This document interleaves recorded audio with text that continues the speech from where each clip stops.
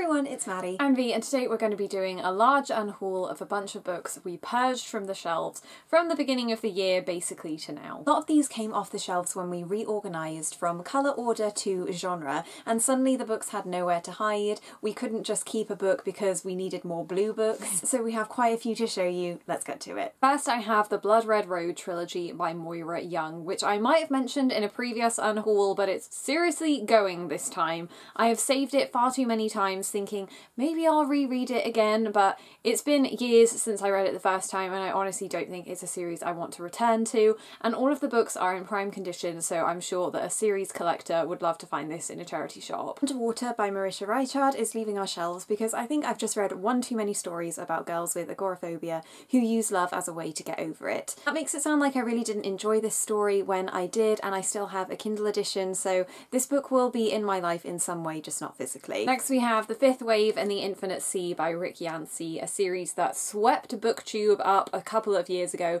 but has pretty much died a death since then. We never had any intention of getting the third book to complete the series, Maddie hasn't even read it so there's no point having these on our shelves anymore. Next we have Spare and Found Parts by Sarah Maria Griffin. This is a Frankenstein retelling and I'm sure it would be enjoyable to somebody that really likes sci-fi but for me the pace was just too slow and I don't think it's one that Bee's going to enjoy reading so we're going to give it to someone else. Um, next we have Word Nerd by Susin Nielsen. I almost kept this for a read or unhaul just because it's so short. That is just not a good enough reason to keep it on our shelves. Next we have Sunflowers in February by Phyllida Shrimpton. I read this in one of our most recent read all days or reading vlogs and in there I wasn't actually that impressed with this one because a lot of the concept is the same as The Lovely Bones which is one of my favourite books so we'll be passing this on. Next is Orbiting Jupiter by Gary D. Schmidt and this is one of the books chosen for Zoella's book club and we kept it because of this gorgeous gorgeous cover but I can look at that on Goodreads at any time.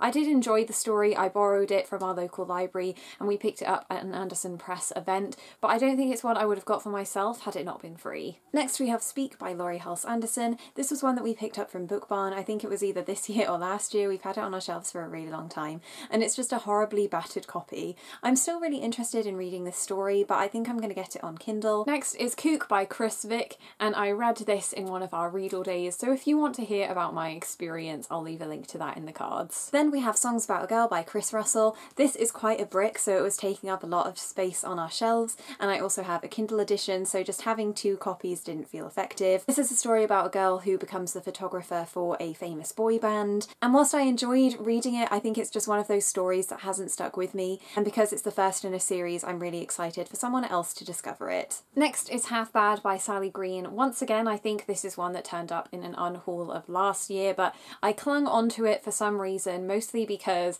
I did enjoy the first one and I read the whole series. I was just like I need this physical marker as a sort of trophy that I finished the series. But as soon as we reorganised the shelves, I realised it didn't have a place in my heart, so it didn't deserve a place on the shelves. I really enjoyed The Smoke Thieves, which is Sally Green's new YA fantasy series, so I think I'll be collecting those instead. Next I have Paper Butterflies by Lisa Heathfield. We picked this one up in a charity shop for 99p, and it was a story that I just haven't been able to stop thinking about, even though I read it absolutely ages ago. It's just one that's so tragic you'll think you'll never forget it, but it's got a black spine so it doesn't really stand out on our shelves and again it's one I have on Kindle so really we're just cleaning up our shelves for any doubles. Next I have a paperback of Flame in the Mist and the hardback of Smoke in the Sun by Renee Ahdieh. This is a duology and I read this one but didn't connect to it and I don't think I was as intrigued enough as I thought to read the second one and this was sent to us unsolicited by Hodder and Stoughton. And whilst I adore these covers I have a friend that's interested in reading the series so I'll be passing them on to her instead. Next we have Love and Gelato by Jenna Evans Welch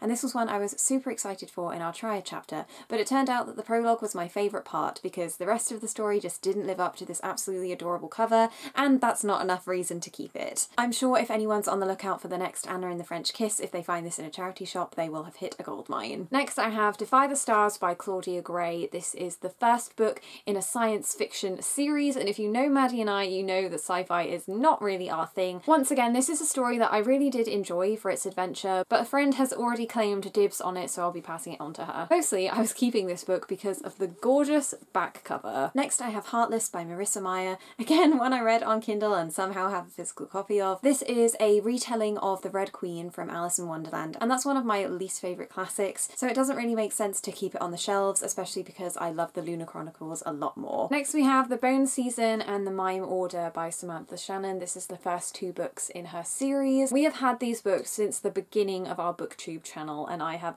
not once tried to reach for them. I'm pretty sure we got them at a two for five pounds deal, which is great value for this series, but the covers have already changed and Maddie has the first one on her Kindle and I'm more likely to read it there. It's a very dense fantasy world and that's not like what I'm used to reading, so we'll see if I eventually get round to them. Next we have All the Rage by Courtney Summers. This was a book I read for my dissertation and now that university is over I want to distance myself from that as much as possible. This was another difficult read like Paper Butterflies, so although again it will stick with me, it's not really one I want on my shelves because I can remember it, I don't have to reread it. We picked up The Incredible Adventures of Cinnamon Girl by Melissa Keil at a Stripes book event years ago and I think we read about 60 pages on the train but then put it down and had other reading commitments and never picked it up again and it's one that's really slipped under our radar, haven't heard anybody talking about it and I think that lack of hype has meant that this ended up in the unhaul pile. Then we have Been Here All Along by Sandy Hall. This was a really cute LGBT romance story, but it had so much unfulfilled potential. So this is probably the biggest shame to get rid of, but it'll probably mean a lot to somebody if they find it and realise that it's MM. Next I have The Killables by Gemma Malley, which I picked up for £1.50 at a used bookstore. And I wanted it because I was really in the mood for some dystopian, and it fit the bill. I enjoyed it at the time, but it was definitely nothing special. It has a sequel that I don't intend to read, so I'm happy to just let it back out into the world. Then we have Stags by M.A. Bennett. This was a book from the YA Book Prize this year, but unfortunately I didn't like it as much as everyone else, and that feels like quite an outlying opinion. If you're interested in my experience of reading this one, I read it for a read all day last year, so I'll leave that link in the description. And finally, we have Ink by Amanda Sun. This we picked up from a charity shop years and years ago because of the gorgeous cover, but it's one that I haven't reached for and I don't think I will. It's time for us to only read books that we're genuinely excited for, so this one has to go. So those are the 28 books we're unhauling in 2018. This is practically a whole shelf but you wouldn't be able to tell because there's still so many books behind us. If we unhaul anything else throughout the year, it won't be in this large chunk, so you can catch up with those decisions in our reading diaries. Thank you everyone so much for watching. We make bookish videos every week, so subscribe if you haven't already. You can follow us on Twitter and Instagram at MaddieandBee, and we'll see you next time.